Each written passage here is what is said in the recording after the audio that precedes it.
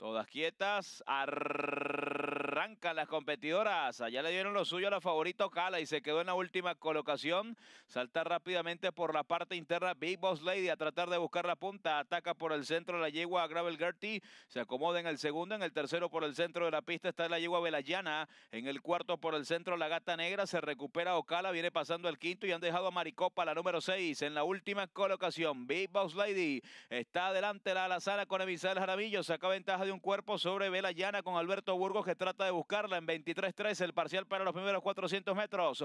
Ocala, la favorita número 8 con Juárez está tercera. En el cuarto viene apareciendo Glover Gertie con Cristian Torres. El quinto es para la Gata Negra con Lionel Reyes. Mientras que Mari Copa con Miguel Ángel Vázquez cierra el pelotón a unos 12 cuerpos del primer lugar. Domina Big Lady, ventaja de cuerpo y medio. Allá viene Ocala a tratar de comprometerla por el centro de la pista en 45-4 el parcial para la media milla. En el tercero se queda la lleva Llana. En el cuarto intenta atropellar la gata negra. Junto a ella viene apareciendo la número 10, Gravel Gertie. Mientras que el 6, la llegó Maricopa, está en el último lugar. Ocala por la parte central de la cancha está desplazando y se viene al primer lugar. Se queda Vivos Lady en el segundo. En el tercero insiste ahora la gata negra. En el cuarto, Glover Gertie. Cuando van a ingresar ya a la recta final de Gostrin Par, dominando Ocala la competencia. Insiste por fuera la gata negra contra la puntera. Ocala se defiende en la punta. La gata negra trata de buscarla por el centro de la pista, pero está crecido Ocala con todo y la mala partida. La gata negra en el último esfuerzo trata de buscarla por el centro de la cancha, pero tarde les va a ganar Ocala, la número 8.